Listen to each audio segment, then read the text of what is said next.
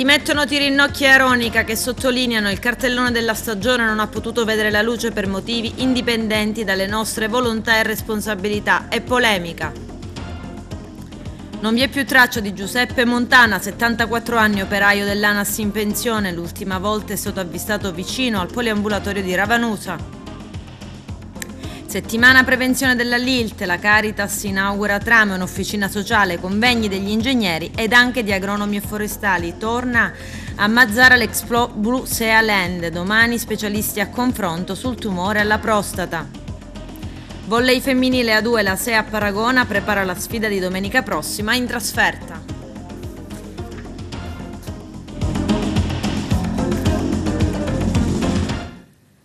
Bentrovati gentili telespettatori al nostro appuntamento con l'informazione. Il direttore generale della Fondazione Teatro Pirandello di Agrigento, Calogero Tirinnocchi, ha rassegnato le sue dimissioni irrevocabili. Anche Aronica, l'attore regista, presidente del Consiglio d'amministrazione, ha rassegnato proprie dimissioni. Il servizio di apertura del nostro direttore Arturo Cantella.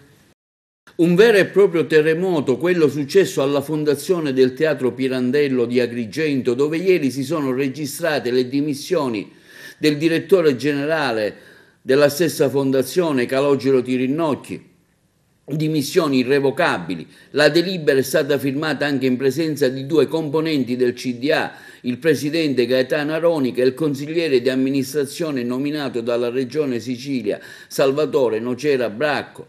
Successivamente alla chiusura del CDA anche il presidente Gaetano Aronica ha rassegnato le proprie dimissioni. I due responsabili della fondazione hanno anche allegato il nuovo cartellone della stagione. Ma a loro detta non ha potuto vedere luce per motivi indipendenti dalle nostre volontà e responsabilità dove confluisce l'impegno verso il pubblico che ha seguito le attività del teatro. Giorni fa sulla Fondazione Pirandello si è scatenata una vera e propria bufera mediatica dovuta alle modifiche del nuovo statuto. Tra i tanti interventi forti e decisi è stato quello dell'ex sindaco di Agrigento Calogero Firetto, che afferma come scacco matto in due mosse contro il teatro Pirandello e solo per obbedire a logiche spartitorie. Il Consiglio Comunale ad Agrigento ha votato una pagina deteriore della Prima Repubblica. 12 consiglieri su 24 compatti soldatini di maggioranza, scrive Firetto, animati come per assalto alla Bastiglia, hanno votato due sostanziali modifiche allo statuto della Fondazione Luigi Pirandello. Primo, l'aumento del numero dei consiglieri di amministrazione senza alcuna ragione. Infatti non è stato spiegato un solo motivo utile alla gestione della fondazione, inoltre in controtendenza con tutte le norme recenti che riducono i consigli di amministrazione da 5 a 3. Secondo punto, delineato da Firetto, hanno tolto alla fondazione il personale comunale e i fondi comunali, addossando altri costi alla fondazione. Due interventi, per detta di Firetto, inutili e costosi che porteranno a discussioni partigiane su chi dovrà mettere le mani sulla fondazione e alla riduzione della della qualità degli spettacoli, due modifiche, continua Firetto, apportate da soggetti che in effetti non abbiano mai visto a teatro e che intervengono su qualcosa di cui non conoscono le dinamiche, né i profondi cambiamenti apportati, né il risanamento attuato da persone dall'orizzonte di buon orizzonte morale, persone che hanno portato il teatro fuori dagli scandali, dal default, dalle chiacchiere, per riportarlo nei canoni della cultura e con i conti in attivo, per fare quadrare il bilancio, continua le l'ex sindaco, d'ora in poi si dovrà ricorrere a spettacoli di provincia o sperare nelle regalie di mamma regione. Cambia radicalmente la storia del teatro Pirandello di Agrigento, si fa piombare la città indietro di 30 anni, anche sotto il profilo della cultura. Nel mio intervento, continua l'ex sindaco, ho fatto rilevare in Consiglio Comunale che tutte le criticità che avevamo sollevate sono rimaste intatte nonostante i vari emendamenti, emendamenti che hanno la caratteristica soltanto dell'opposizione di tanti tante impronte digitali. Torna opportunamente il CDA un membro indicato dalla Regione, ma per tutto il resto non cambia la sostanza. Hanno così aumentato da 3 a 5 i componenti del Consiglio di amministrazione, di cui tre costituenti la maggioranza assoluta. Sono di nomina del sindaco, ma diventano 4 se non ci sono soggetti privati in grado di versare alla Fondazione ben 150.000 euro in tre anni per avere un posto in minoranza nel Consiglio di amministrazione. Una barzelletta, continua Firetto, facciamo due conti fondi, se tre anzi quattro uomini con le stesse caratteristiche e in linea col sindaco voteranno a maggioranza, il teatro viene consegnato al sindaco a chi per lui. Si conferma il rimborso spese moltiplicato per i cinque componenti, ma soprattutto alla fondazione sono stati tagliati i fondi e deve farsi carico di tutto, anche del personale. I consiglieri erano soddisfatti di aver sparato alle gambe del teatro Pirandello, dicono che adesso dovrà imparare a camminare da sola, sarà finalmente autonoma. Tutto questo è grottesco per l'ex sindaco di Agrigento, non sanno che per fare un buon teatro occorre rendere difficile la vita a chi la vuole lottizzare. Qualche consigliere di prima nomina dice che anche di rammaricarsi per non avere potuto ragionare a mente lucida, ma è felice di avere votato. D'altra parte, come si dice, è stato un delitto d'impeto. La responsabilità è una parola troppo difficile da cogliere. Ho sollevato un problema di legittimità del voto del Consiglio Comunale. Pensano, dice Firetto, di averle fatta franca, ma c'è un pubblico che ama profondamente il teatro e che quando diluvia non teme di bagnarsi i piedi. Dico a loro, conclude Firetto, che meritano un liete fine. La storia non è ancora finita, il teatro riuscirà a liberarsi di questi giochetti e potrà continuare a fare cultura.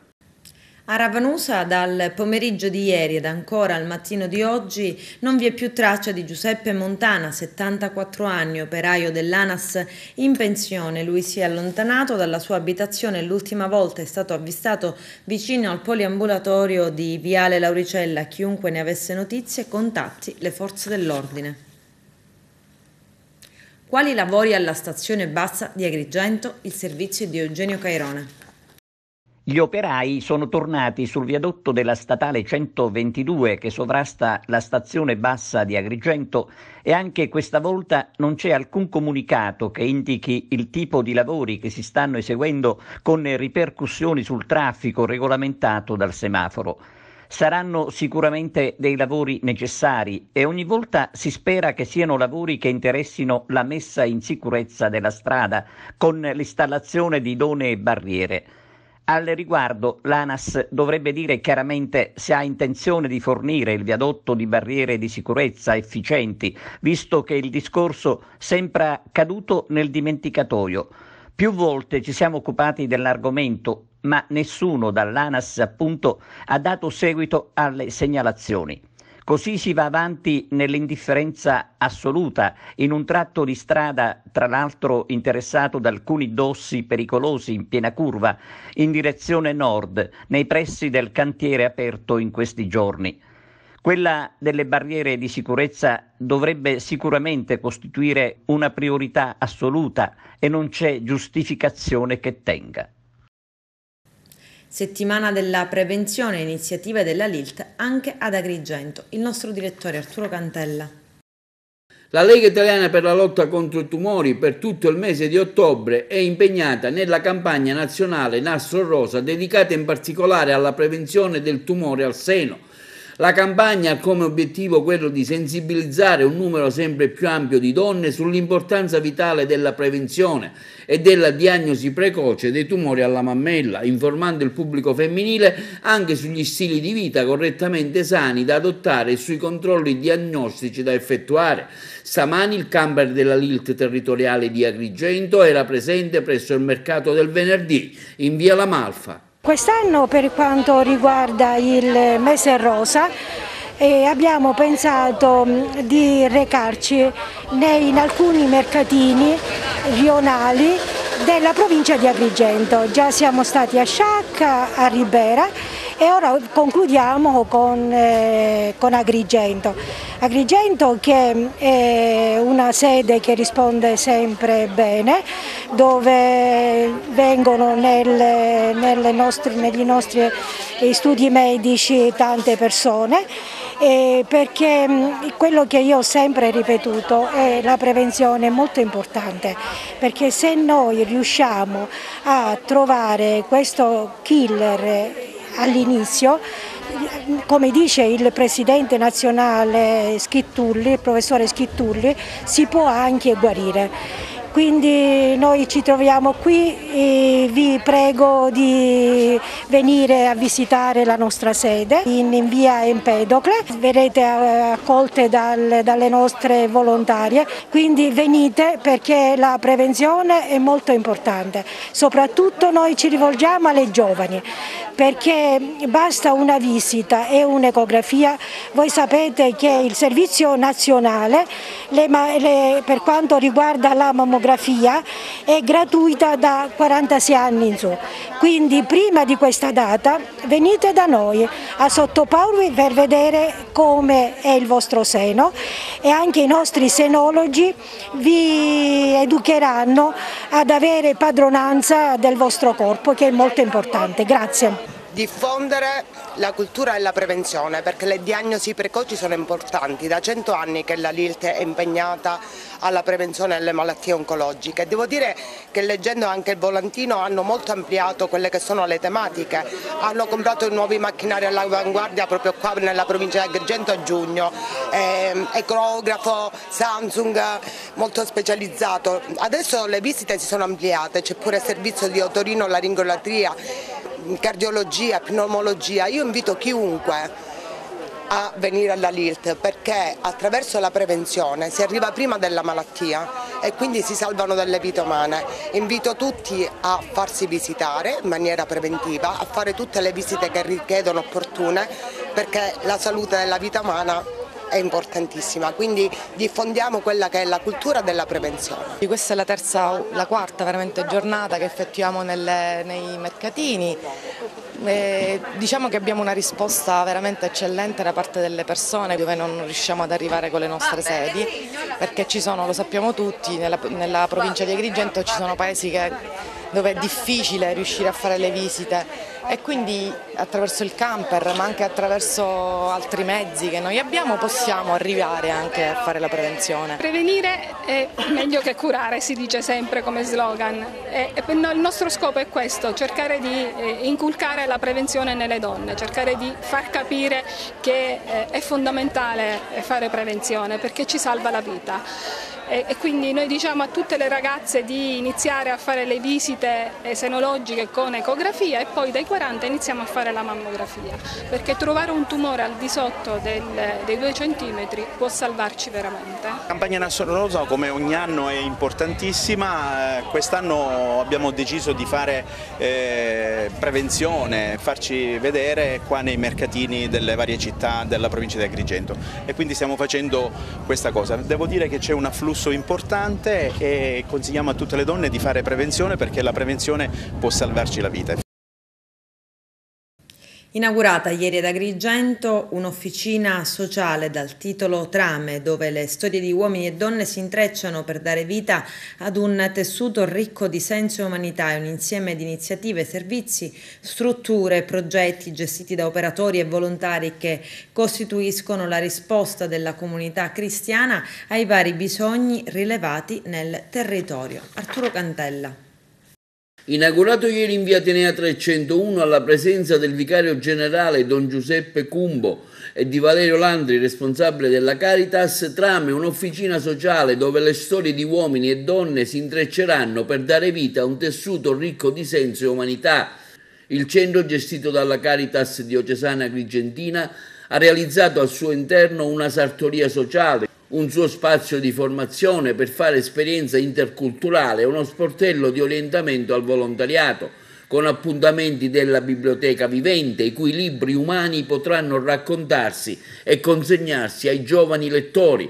Trama è finanziata con i fondi dell'8 per 1000 all'interno del progetto OLD, un progetto finalizzato a favorire l'inclusione sociale di migranti residenti sul territorio agrigentino. Trame è un, uno spazio che nasce grazie a un progetto finanziato da Caritas Italiana, il progetto OLD che ha l'obiettivo di favorire l'integrazione interculturale all'interno del nostro contesto. Quando si parla di intercultura non si parla solamente di integrazione del migrante nella cultura italiana, ma di valorizzazione della molteplicità delle culture che compongono ormai questo contesto. Bene, le attività che verranno vita in questo spazio avranno proprio questa finalità.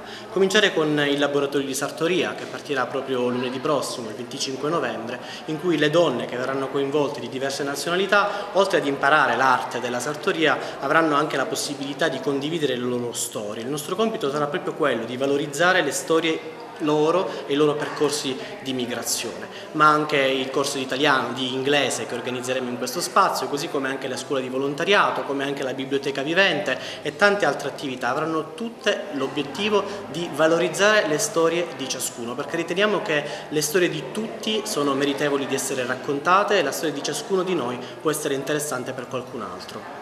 Il centro è aperto tutti i giorni e sarà fruibile da tutti?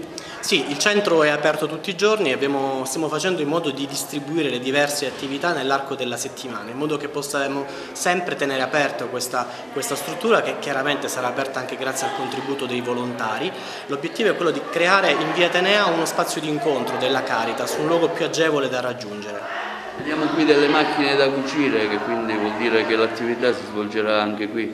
Sì, questa sala è proprio la sala che attualmente destineremo al laboratorio di sartoria. L'abbiamo già allestita, abbiamo già fatto altre edizioni nell'altra sede della Caritas, però per noi farla, realizzarla in via Tenea ha un significato maggiore, perché è davvero un luogo di passaggio, un luogo in cui sarà più facile organizzare anche degli incontri con la società civile, perché le storie delle persone che lavoreranno si formeranno in questo laboratorio di sartoria possano davvero incontrare le storie di tante altre persone. Rappresenta anche un momento di riapertura dopo il lockdown?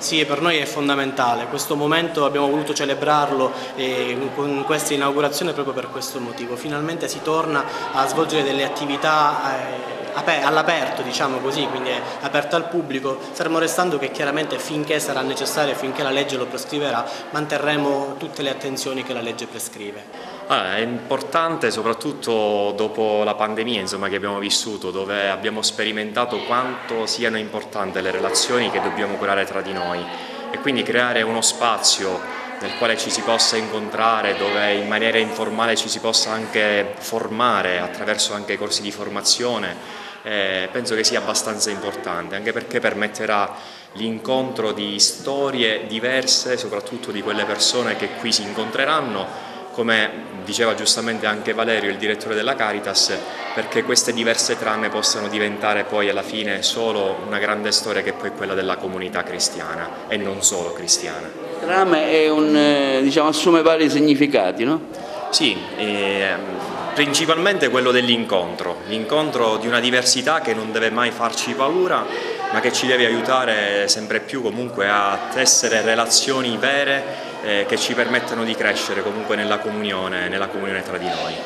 Il luogo è aperto a tutti, chi vuole venire? Sì, eh, i destinatari sono coloro che si lasceranno coinvolgere dalle attività che eh, Caritas propone eh, e anche il fatto stesso di essere ubicata nella via Atenea è anche l'occasione per eh, poter presentare anche alla città eh, quelle molteplici occasioni di incontro che Caritas e Fondazione Mondo Altro eh, propongono alla, alla comunità stessa.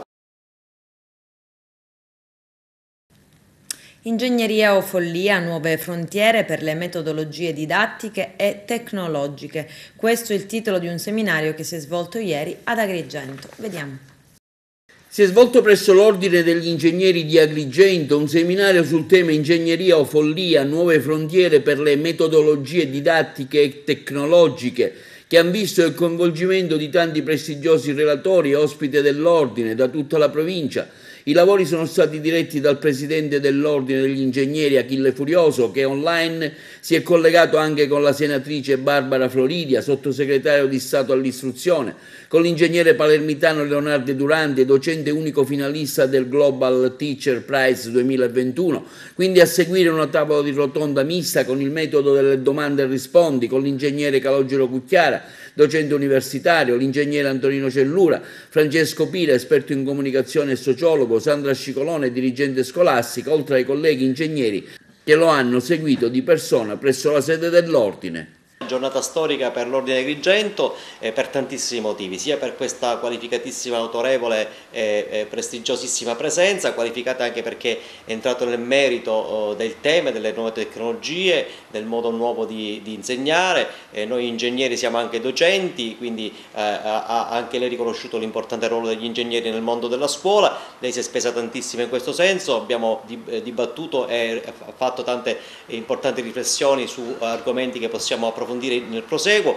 Eh, tra gli ospiti c'era il professore Leonardo Durante che è tra i 50, l'unico italiano rimasto ancora in lista per vincere il premio di miglior professore del mondo è un ingegnere, è siciliano, ha fatto l'Università di Palermo come, come, come noi eh, e quindi è stato un motivo d'orgoglio averlo qui ospite in questo momento. La sottosegretaria lo ha invitato a venire al Ministero e lei stessa ha detto che lo andrà a trovare perché i suoi brevetti, i brevetti dei suoi allievi stanno facendo furore, sono, sono dire, voluti da tutte le aziende e, e poi la cosa importante è per parlare di ordine degli ingegneri direi che è un momento storico anche perché avviamo oggi eh, per la prima volta nella storia eh, la formazione è di tipo misto, cioè persone presenti in sala, colleghi eh, che assistono in diretta, un numero limitato anche per motivi di Covid e ben 300 eh, in questo momento sono collegati in eh, tutta la provincia e anche eh, nel resto d'Italia iscritti all'ordine di Agrigento stanno apprezzando tantissimo questo evento che è, è veramente veramente la, il primo, ci auguriamo, di tanti interventi e eventi importantissimi che po possono, daranno la, la, sicuramente la possibilità a tutti gli iscritti della provincia di Agrigento di accrescere le loro competenze professionali. Sono previsti altri qualificati interventi durante diciamo, questa riunione? Sì, saranno previsti la tavola rotonda, c'è un momento di tavola rotonda in cui pres sarà presente anche il professore Pira che è anche docente universitario a Messina, è, è portavoce del rettore, è responsabile di un, di un importantissimo progetto Erasmus con l'Università polacca, eh, lui è un esperto di comunicazione, ha scritto tanti libri, l'ultimo è quello eh, Figli delle App, sarà, eh, essere, sarà presente anche eh, la professoressa Sandra Cicolone per conto dell'Associazione Nazionale eh, Presidi, lei è componente dello staff nazionale dell'Associazione Nazionale Presidi, poi abbiamo ovviamente il Presidente della Commissione Formazione dell'Ordine che è, il professore Cucchiara e il Presidente della Commissione Docenti dell'Ordine che è il professore Antonio Nino Cellura eh, di Talicata. Ecco, momenti importanti che avranno anche un suo seguito. Sicuramente perché eh, faremo degli approfondimenti e già ci siamo dati appuntamento a breve per rilanciare il tema dei docenti anche sotto altri punti di vista come per esempio quello della cassa di previdenza, della gestione separata. Eh, noi ingegneri e docenti eh, abbiamo più volte evidenziato che c'è una sorta di discriminazione in questo senso perché ci viene eh, inibita eh, l'iscrizione a, a Inercassa con una serie di problematiche che evidentemente vanno risolte quanto prima nell'interesse di tutta la la categoria degli ingegneri ed in particolare degli ingegneri docenti. Allo spazio Temenos in via Pirandella d'Agrigento il convegno sul tema agricoltura biologica, innovazione e sfide globali patrocinato dall'Ordine degli agronomi e dei dottori forestali di Agrigento. Vediamo. Oggi la presentazione del convegno sul tema agricoltura biologica, innovazione e sfide globali, un'iniziativa del gruppo operativo dell'isola Biosicilia qui ad Agrigento presso lo spazio Temenos. L'agricoltura biologica oltre alla sua missione principale che è quella di sfamare l'umanità può dare un importantissimo contributo al contrasto delle principali sfide globali, in testa i cambiamenti climatici, contribuisce ad assorbire il 35% delle emissioni. È l'agricoltura che eh, sfama eh, i 7 miliardi di, di abitanti eh, diciamo, del mondo è un settore che, che, consuma, che, consuma, parecchia energia e che esercita importanti emissioni. L'agricoltura biologica con, riesce a, a, contenere questa emissione e a dare un importante, un importante contributo. Perché? Perché nella, re, nella grande rete di biodiversità e di sostanza organica che è necessaria per eh, praticarla imprigiona l'anidride carbonica.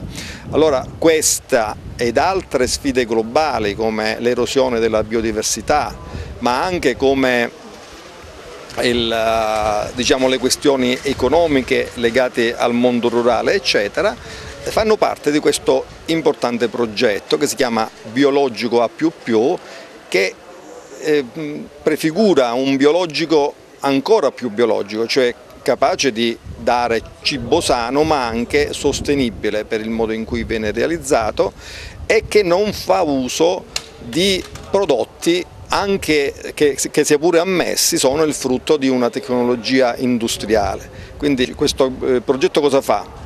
raccoglie tutte le eh, informazioni tecniche, le innovazioni che sono disponibili a livello internazionale e le introduce nella nostra rete di aziende biologiche siciliane che, ricordo sempre, è la più potente rete regionale di aziende biologiche con oltre 200.000 ettari di superficie certificate e oltre 12.000 aziende certificate.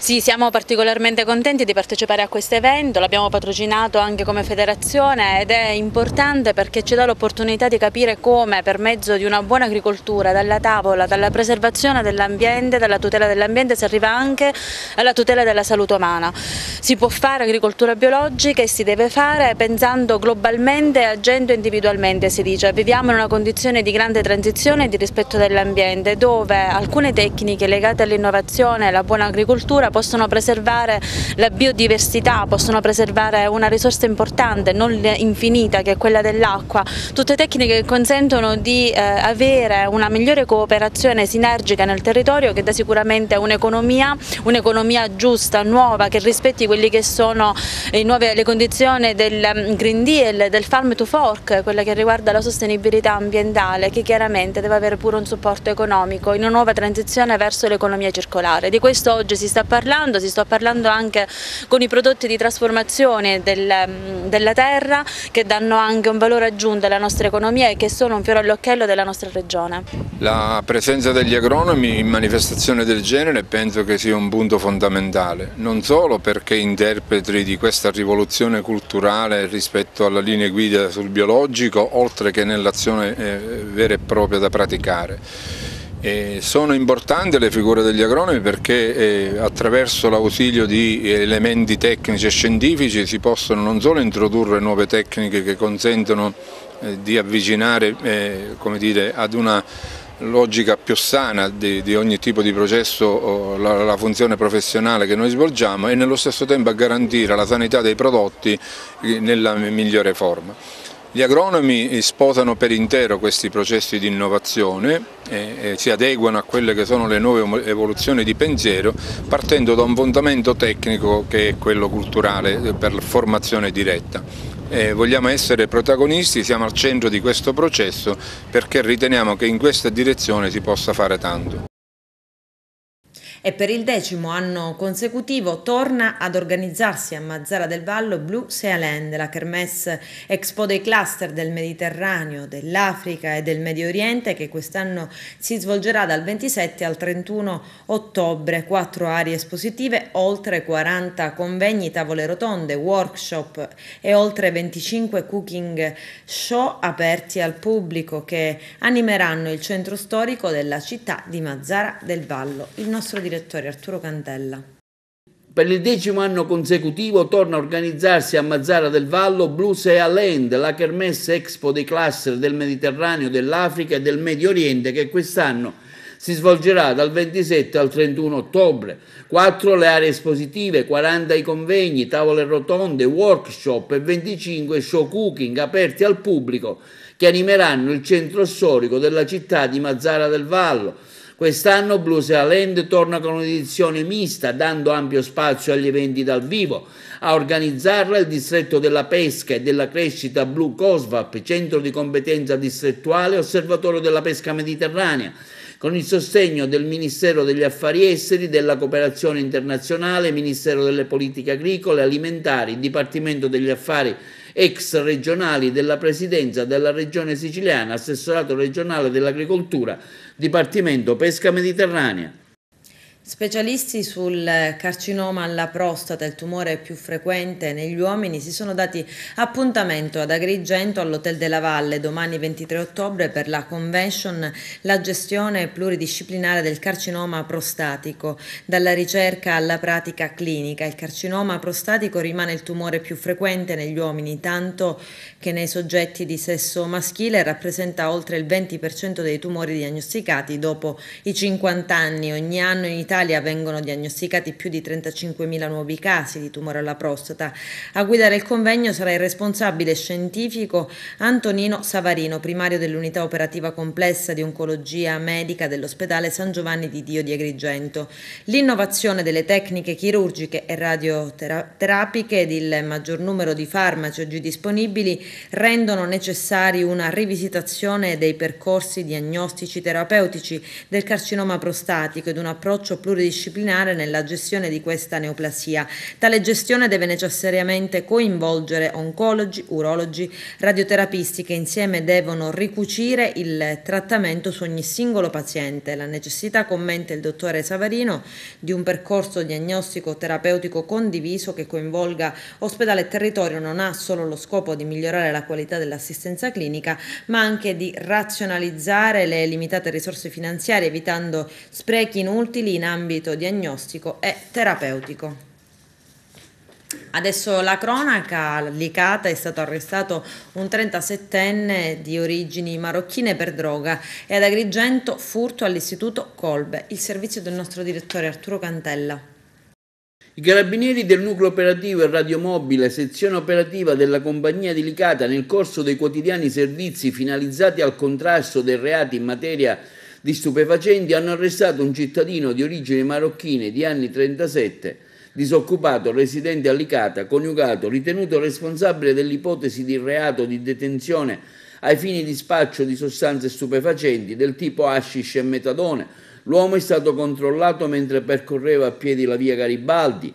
L'atteggiamento alquanto circospetto ha indotto i militari della sezione operativa di Licata a eseguire una perquisizione personale all'interno del suo marsupio aveva agganciato alla vita, sono stati rinvenuti 40 grammi di hashish costituiti da due singoli dosi di circa un grammo ciascuna e da mezzo panetto più grande, il tutto confezionato con del celofan. I carabinieri di Licata hanno così individuato il mezzo in uso al soggetto, un furgone Iveco Daily, parcheggiato poco distante, all'interno del quale è stato rinvenuto un altro mezzo panetto di fumo di circa 40 grammi, è un flacone di metadone di 20 mg, detenuto senza alcuna prescrizione medica. Quindi, su disposizione della Procura della Repubblica di Agrigento, l'arrestato è stato sottoposto agli arresti domiciliari presso la propria abitazione in attesa dell'udienza di convalida, mentre lo stupefacente sequestrato nei prossimi giorni sarà analizzato per stabilire il quantitativo di principio attivo contenuto. Intanto sempre ieri i carabinieri di Agrigento avvisati dalla collaboratrice dell'Istituto Scolastico Comprensivo Anna Franche che ha denunciato presso la stazione di Agrigento il furto ai danni del plesso denominato Colbe, sito in contrada San Michele. Nella circostanza si è appreso nel corso della notte del 20 ottobre che ignoti sono penetrati all'interno dell'istituto forzando una finestra e danneggiando le porte interne alle aule didattiche dove sono stati asportati 5 computer notebook marca Asus. Il danno è in corso di quantificazione e i militari della stazione di Agrigento hanno eseguito un primo sopralluogo sulla scena del reato per acquisire eventuali tracce o indizi utili all'individuazione dei responsabili. La Corte d'Appello di Palermo ha depositato la sentenza con cui l'ex senatore di Forza Italia Antonino Dalì è stato recentemente condannato a sei anni di carcere per concorso esterno in associazione mafiosa. Vediamo. Da lì ha manifestato la propria disponibilità verso Cosa Nostra dai primi anni Ottanta del secolo scorso fino agli inizi dell'anno 2006 e comunque non vi è prova di una condotta di desistenza dell'imputato incompatibile con la persistente disponibilità di esercitare le proprie funzioni e da spendere le proprie energie in favore del sodalizio mafioso, lo scrivono i giudici della Corte d'Appello di Palermo nelle motivazioni della sentenza con cui Poco prima dell'estate, l'ex senatore berlusconiano è stato condannato a sei anni di carcere per concorso esterno in associazione. In 138 pagine si riassumono così i rapporti consolidati con i Messina Denaro, dal vecchio Don Ciccio, campiere dei terreni della famiglia Dalì, alla vicinanza al figlio Matteo, il politico eletto con Forza Italia nel 94, ha seduto al Senato, per ben vent'anni, intrattenendo relazioni con Cosa Nostra anche durante i cinque anni in cui è stato sottosegretario agli interni del governo di Silvio Berlusconi dal 2001 al 2006. Da lì ha certamente assunto degli impegni seri e concreti a favore dell'associazione mafiosa e ciò lo si può desumere sia dalla sua comprovata e ventennale disponibilità a spendersi in favore di Cosa Nostra, così si legge nella sentenza emessa al termine di un lungo processo. Riportiamo i fatti appresi dai colleghi de Il Fatto Quotidiano. Secondo i giudici da lì ha concluso nel 2001 un patto, l'ennesimo politico-mafioso, con Cosa Nostra in forza del quale il sodalizio gli ha garantito l'appoggio elettorale che ha consentito all'imputato di essere nuovamente eletto al Senato, elezione che poi ha costituito da viatico per l'acquisizione dell'incarico di sottosegretario al Ministero dell'Interno.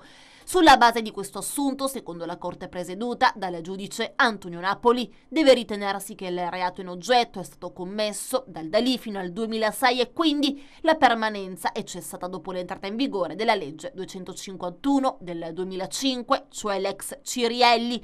Inoltre, nelle motivazioni depositate in questi giorni in cancelleria, si arriva alla conclusione che essendo cessato il reato nel 2006, esso non era prescritto quando in data 11 11 maggio 2012 è stato disposto il rito abbreviato con la conseguenza che da quel momento iniziava decorrere un ulteriore ventennale prescrizionale che non può ritenersi ispirato al momento della presente decisione. Una valutazione importante se si pensa alle varie tappe del processo all'ex senatore di Trapani. Nel primo processo il gruppo di Palermo infatti lo aveva assolto per i fatti successivi al 94 dichiarando prescritti quelli compiuti in un periodo precedente a quella data, tra cui la compravendita fittizia di un terreno in contrada Zangara diretta da Matteo Messina Denaro, come raccontato dal pentito Francesco Geraci.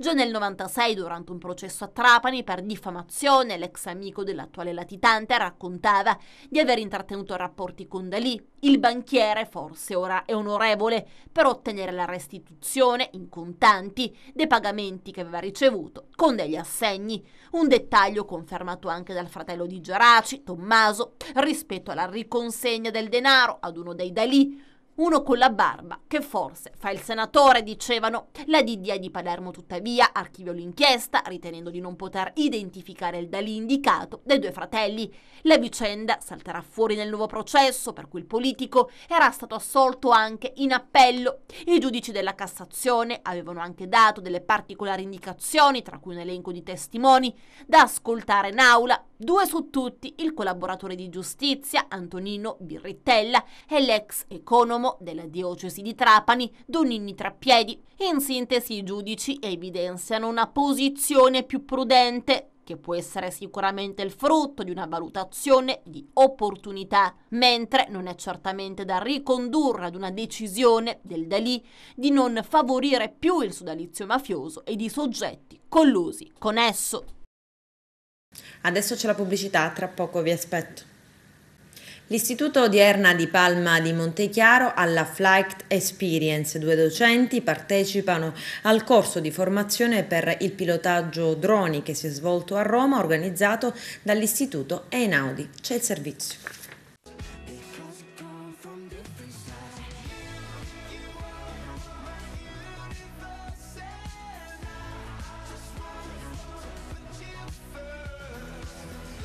Un'esperienza formativa nuova, diversa, che ha visto protagonisti i docenti di scuola secondaria di secondo grado provenienti dalle scuole più attive e innovative d'Italia, tra cui l'odierna di Palma di Montechiaro. Due professori agrigentini hanno partecipato alla Flight Experience, uno dei progetti del percorso Officine STEAM, organizzato dall'Istituto di Istruzione Superiore Luigi Einaudi di Roma, scuola polo nazionale del premio Scuola Digitale una scuola visionaria, avveneristica. Pronta ad accogliere il nuovo e ad attivare delle reti metodologiche per generare il futuro, essere al passo eh, con i tempi, accogliere le sfide del millennio, però per fare ciò, per fare questo è necessario essere docenti motivatori.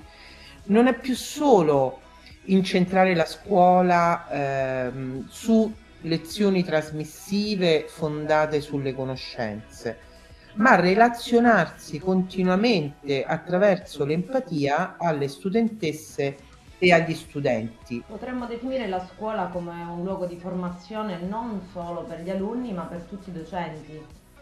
Esattamente questo, formare i formatori. La formazione è per tutti e non solo per alcuni, quindi cominciare ad estendere anche il concetto di apprendimento che di fatto riguarda anche noi docenti. Voler introdurre all'interno del contesto scolastico una, un approccio eh, nella relazione insegnamento-apprendimento che fosse un po' più eh, direzionata verso, verso l'empatia, verso ehm, l'uscire dalla comfort zone da parte dei docenti e da parte degli studenti.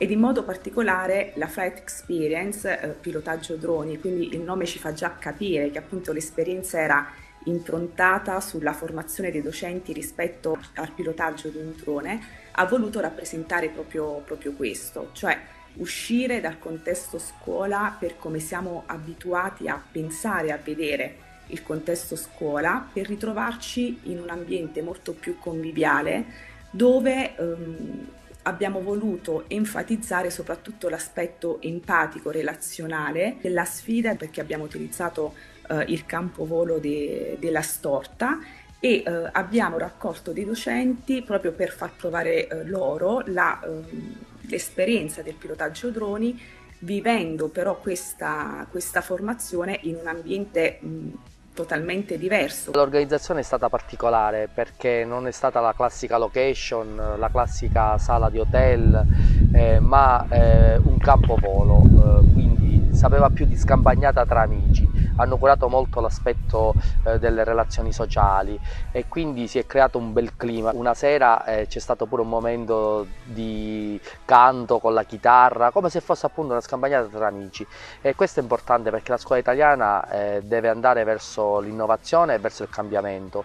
creare gruppo, eh, fare, creare relazioni fra docenti è importante, oltre all'aspetto didattico che è stato appunto l'esperienza di imparare a pilotare i droni, eh, utilizzare la fotogrammetria geometria per portare un oggetto qualsiasi che ci circonda a un modello 3D da utilizzare all'interno della didattica all'interno delle scuole. Permettendo a noi docenti partecipanti di approcciare al volo del drone attraverso esercitazioni pratiche e laboratoriali in formato STEAM.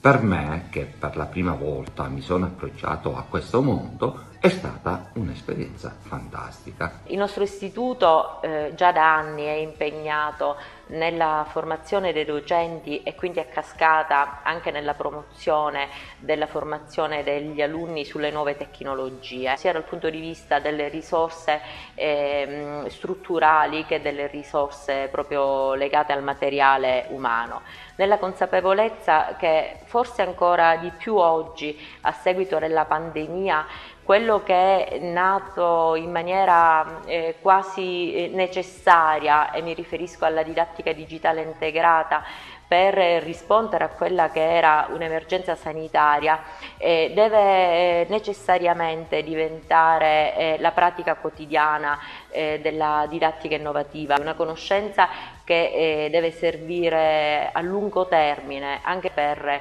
l'immissione nel mondo del lavoro. Aumenta ancora il costo del conferimento dei rifiuti in discarica. Vediamo.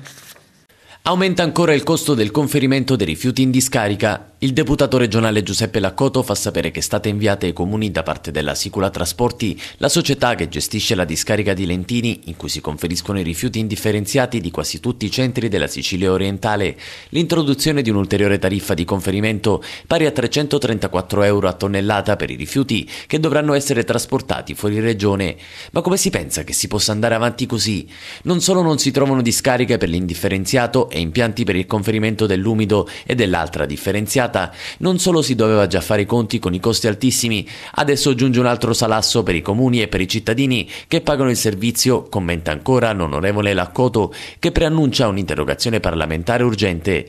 I sindaci combattono la battaglia quotidiana per l'affermazione della raccolta indifferenziata, per abbassare tariffe e costi, ma per rendere virtuosi i propri comuni. E poi arrivano queste batoste che ci fanno tornare al punto di partenza, come un cane che si morde la coda. 的 Il piano regionale per la gestione dei rifiuti in Sicilia è diventato una sorta di araba fenice. Che vi sia, ciascuno lo dice, dove vi sia, nessuno lo sa. L'onorevole Laccoto era già intervenuto con altre iniziative parlamentari per chiedere l'intervento finanziario immediato della regione. Ci sentiamo presi in giro come amministratori e come cittadini, conclude l'onorevole Laccoto, ma siamo giunti a un punto di non ritorno. Occorrono provvedimenti straordinari e urgenti per evitare che questa situazione finisca per soffocare tutti.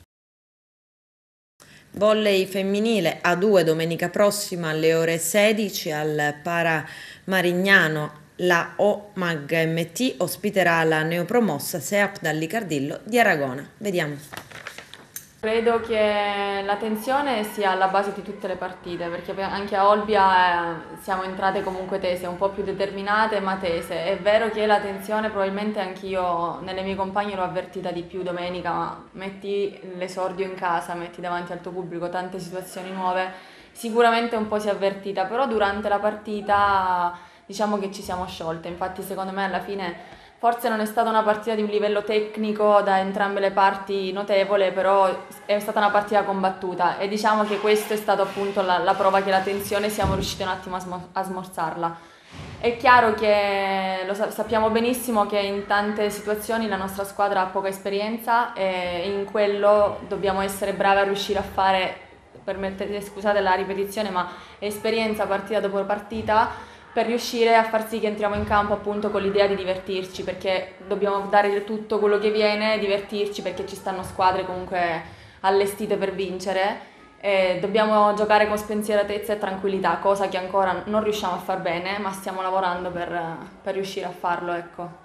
Visto poi a post partita anche il tecnico Vincoli era abbastanza critico, mi sembra che uno ne manda a dire tra le altre cose si è lamentato del fatto che non abbiamo mai giocato con eh, le centrali, con le due centrali, una critica che senti tu particolarmente o è dovuta Ma no, a no. qualcosa... Una critica nei miei confronti? No, non credo, nel senso che penso che sia un discorso, io parto sempre da... Il mio ruolo è fondamentale, ma penso sia un discorso generale di squadra, lui si, si riferisce a questo e lo ripetiamo ogni martedì dopo le partite che Obiettivamente la mia intesa con le centrali ancora non è ottimale no? e sicuramente se riusciamo a far crescere questo, questo fondamentale o questa intesa sicuramente sarà un gioco anche più, più, bello e riusciamo a divertirci di più e anche più complicato per gli avversari, però penso che sia una critica generale relativa magari a tante situazioni perché anche il gioco con i centrali dipende da tante altre, da tante altre cose che stanno dietro, non soltanto obiettivamente da me ma